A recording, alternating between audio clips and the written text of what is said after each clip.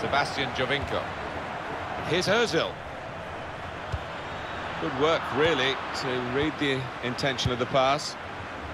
Well, suddenly they could be on the counter-attack. Pass threaded through. De, De Bruyne spot a real opening for him. Oh.